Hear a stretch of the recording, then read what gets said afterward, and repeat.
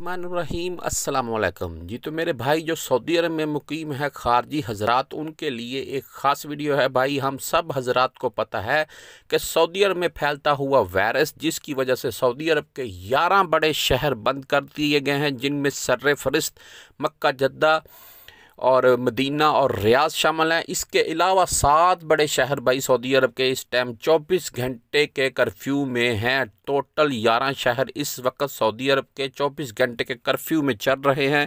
اس کے علاوہ پوری سعودیہ میں تین بجے سے صبح چھ بجے تک کا کرفیو لگا دیا گیا ہے۔ میرے بھائی، تو انہی صورتحال کو لے کر ان کے وزیر صحت نے آج ایک بیان دیا ہے جو کہ کافی چنکا دینے والا بیان تھا۔ میں آپ کو بھائی پڑھ کر سنا دیتا ہوں، آپ دیکھ لیں۔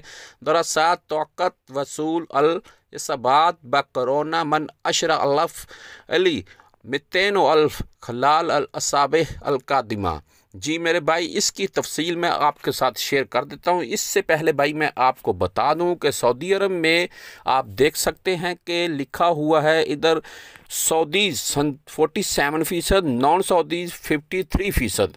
یعنی کہ یہ جو کیس آ رہے ہیں فورٹی سیون سنتالیس فیصد سعودی حضرات میں آ رہے ہیں اور ففٹی تھری یعنی کہ ترپن فیصد خارجی حضرات میں آ رہے ہیں۔ تو بائی سعودی وزیر صحت کا آج کا بیان تھا ان کا کہ آنے والے کچھ ہفتوں میں دو ہفتے بھی ہو سکتے ہیں، تین بھی ہو سکتے ہیں، چار بھی ہو سکتے ہیں یا اس سے زیادہ ٹائم بھی لگ سکتا ہے۔ انہوں نے یہی کہا ہے کہ آنے والے کچھ ہفتوں میں سعودی عرب میں اس وبا، اس وائرس کے کیس بڑھ سکتے ہیں، جن کی تعداد دس ہزار سے لے کر دو لاکھ تک جا سکتی ہے۔ میرے بھائی جی میرے بھائی، سعودی عرب میں بڑھتے ہوئے کیسوں کو لے کر آج وزیر صحت نے یہ بیان دیا ہے کہ ان کی تعداد دس ہزار سے لے کر دو لاکھ افراد تک جا سکتی ہے۔ جی میرے بھائی، یہ آج کا وزیر صحت کا بیان تھا اور انہوں نے سیون بلین ریال اس چیز کے لیے مخصوص کیے ہیں جی۔ اور وزارت صحت کے لیے پہلے اس کے لیے بھائی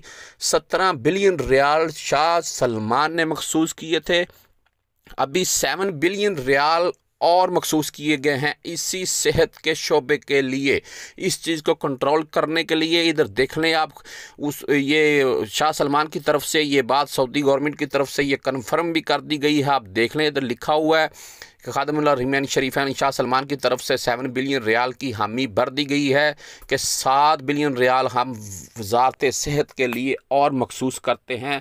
سترہ بلین ریال پہلے تھے، سات بلین ریال بھائی ابھی اور مخصوص کر دیے گئے ہیں۔ اسی چیز کے لیے اور یہاں میں آپ کو ایک بات بھائی واضح کرتا چلوں کہ سعودی عرب میں یہ وائرس کے جتنے بھی مریض آئیں گے، جتنے بھی ٹیسٹ ہوں گے، سب فری ہوں گے۔ کوئی کوئی خارجی ہے، کوئی سعودی ہے، کسی کے پاس اقامہ ہے، کسی کے پاس نہیں ہے، یا کسی پر کسی بھی قسم کا کوئی جرمانہ ہے، تو اسے ایک سائڈ پر رکھ کر یہ لوگ اس شخص کا فری ٹیسٹ کریں گے، فری علاج کریں گے، چاہے وہ کوئی سعودی ہے، چاہے وہ نان سعودی ہے۔